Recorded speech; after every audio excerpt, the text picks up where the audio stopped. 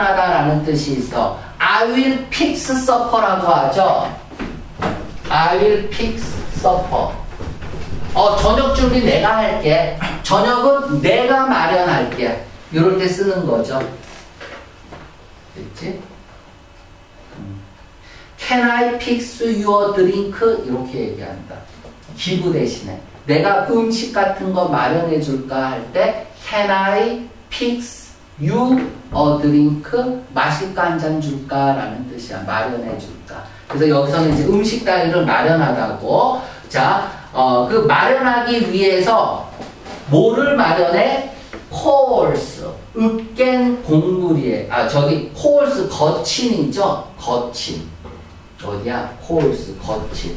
그러니까 여기서는 밀이 있으니까 알갱이가 좀 굵은 뭐 이런 뜻이겠죠. 알갱이가 굵은 어, 밀, 저, 어, 식사를 마련하기 위해서 옥수수를 으깹니다. 아스텍 여자들은요. 예를 들면은 뭐야? 토틸러스 또 어, 토르띠아죠. 토르띠아 같은. 자 다음에 다른 어서트 밑줄 긋고요. 요 단어도 시험 문제 단어 문제로 많이 나와요. 베어리어스, diverse, 한이란 뜻이야. varied 이런 것들이 시험 문제 나왔는데요. assort는 왜 다양하다냐면 assort가 분류하답니다. sort가 종류죠. 소트. 소트 아웃이에요. 분류하다. assort 분류하다. 그러니까 분류된 거야. 분류된 거니까 여러 가지 다채로운 이렇게 됩니다. 여러 가지가 분류되었다고 해서 그래서 다른 다양한 곡물들 아즈텍 사람들이 의존했던 곡물들은 아보카도, 콩 이런 것들이었습니다. 뒷부분은 중요하지 않고 여기에서는 fertilizer 단어 넣기 또는 assort 단어 문제 음, 요 정도 보면 될 것 같고 여기 단어 문제 predicament 바꿔쓰기 단어 문제 보면 되고요.